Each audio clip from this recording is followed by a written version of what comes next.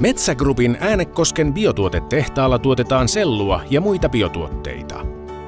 Noin 300 kilometriä etelämpänä ABBn etäpalvelukeskuksessa Helsingissä asiantuntijat seuraavat tehtaan sähköjärjestelmien kuntoa ja toimintaa. Metsägrupiin kuuluvan Metsäfibren biotuotetehdas on Suomen metsäteollisuuden historian suurin investointi. Tehdas tuottaa sellua 1,3 miljoonaa tonnia vuodessa ja lisäksi vielä muita biotuotteita. Ympäristö, materiaali ja energiatehokkuutta painottava tehdas tuottaa lisäksi biosähköä 100 000 sähkölämmitteisen omakotitalon vuosikulutuksen verran. ABB on toimittanut tehtaalle tehokkaan ja kattavan sähkövoimajärjestelmän.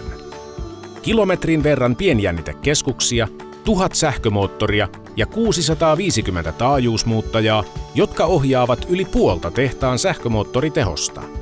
Tehtaan sähköjärjestelmät ja laitteet on liitetty ABB Ability digitaaliseen etäpalvelujärjestelmään, joka kerää tietoa älykkäin anturein varustetuista sähköjärjestelmistä ja laitteista.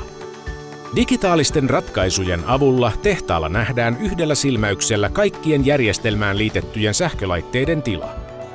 Näin poikkeamiin osataan reagoida ennakoivasti.